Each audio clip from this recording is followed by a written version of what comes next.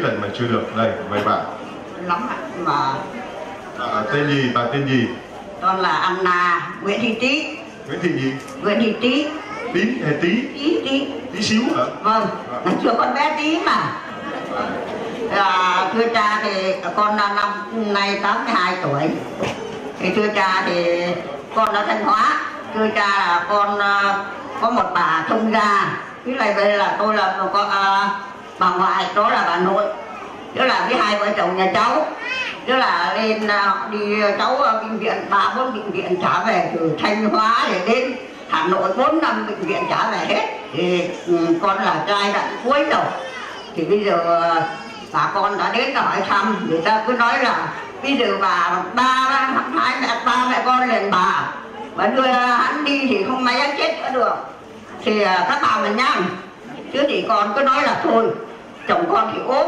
Thì ba cứ nói là thôi bà cứ đi cho con bà đi đi. Cứ tin thác vào chúa là đi chúa chữa là khỏi. Thì à, bà cố gắng bà đi. Thì con chưa cha thì con cũng đau lưng đau mình con yếu lắm còn ốm nhiều lắm lắm bệnh lắm. Thì con nó cố gắng con đi.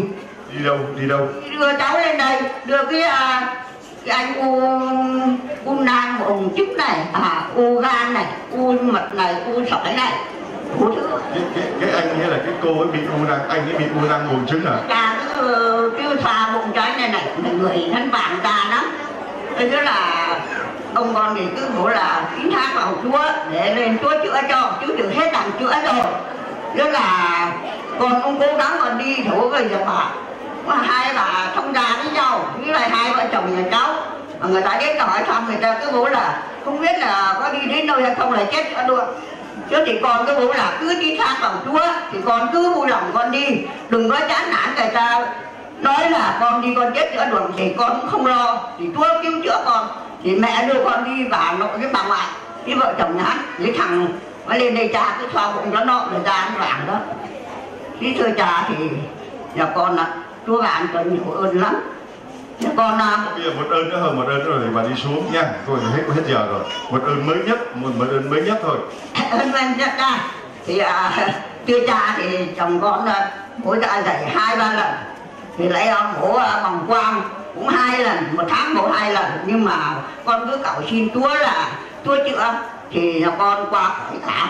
Không có việc gì đến cái giai đoạn vừa sau này thì bố cái u biếu như bằng quang đây này đó là hắn là lại hắn mập lại tức là bác sĩ chứ bảo là ông ờ, cái víu của ông nhắm mà họ cắt con sót hay nhắm mọc lại chứ thì con bố ông siêu âm đi để để mà để con à, xin nhắn cha long mà ờ, cha cầu nguyện cho.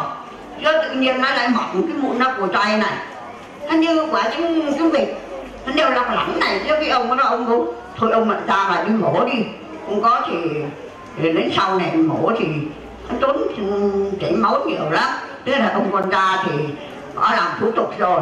Đến lúc là làm mổ còn lúc thôi ông đừng mổ nữa ông đem rút tiền về đi. Họ bảo là nộp 500 thì là để tiêm cầm máu. Chứ mà con muốn thôi ông đừng mổ nữa ông đem về đi thì để con bên cháu nhắn cha lòng, thì cha khấn cho. Thế là cái biếu đây thì mất này. Và bên tại đi khám cái hoàng quan đây cũng không còn. À. Hallelujah